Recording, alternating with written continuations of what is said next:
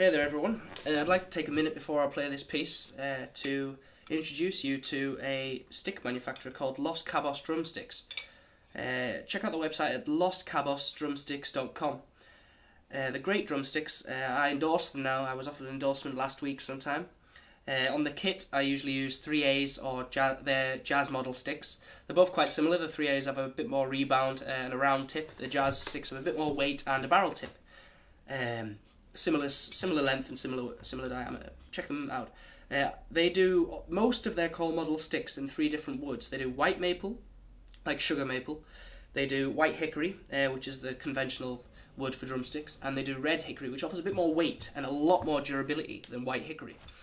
Uh, so if you fancy the 5As, but the 5As in a normal hickory aren't, from other competitors aren't quite heavy enough, you know, but you don't want to change the size, try the Los Cabos 5A red hickories. They'll really do the job for you. Uh, these sticks that I'm using at the moment are Los Cabos Parade sticks in normal white hickory. Uh, they're great for rudimental snare drum things and practice, uh, uh stuff like what I'm doing now on the pad.